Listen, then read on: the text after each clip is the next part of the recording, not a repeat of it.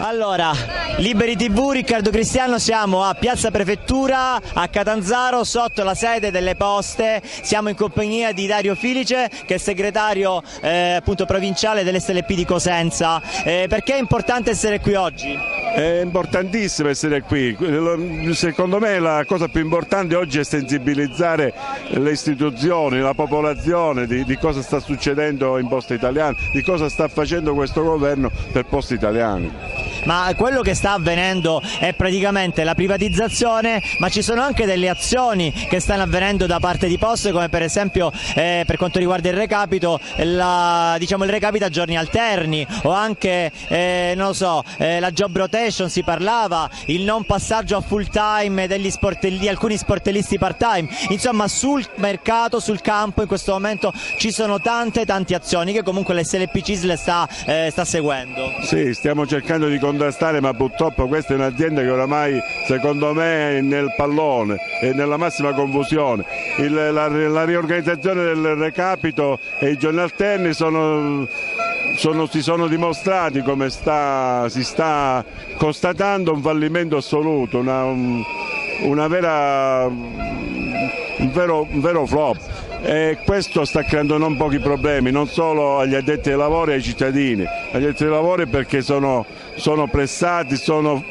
veramente eh, stanno, molti portaletri stanno lasciando il campo, guarda non ho mai visto una cosa del genere. Quindi diciamo anche dal lato umano eh, vediamo praticamente delle persone che non ce la fanno più. Non ce la fanno e non, non riusciamo, eh, cioè non, non, non, ce la fanno ed è, constatabile che non, è possibile perché lo dimostrano le, le, i quintali di giacenza fermi negli uffici e le lamentele dei cittadini che non ricevono la corrispondenza. Questo è stato proprio veramente... La gente in questo momento non solo qui sta sbagliando e sta andando avanti e non si è resa conto che bisogna bloccare, forse rivedere un po' tutte le cose, ma anche decisioni come la job rotation, la job rotation gli avvicendamenti che sta attuando sono veramente un po' unilaterali e sono eh, discriminatori. Il problema anche dei part time, in questa regione ce ne sono tantissimi part time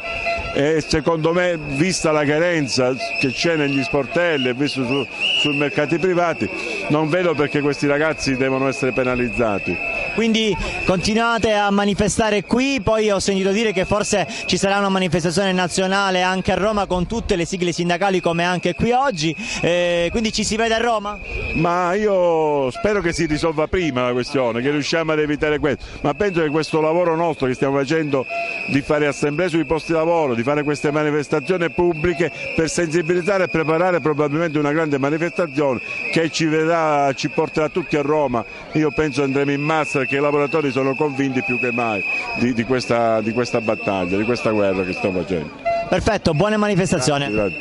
grazie.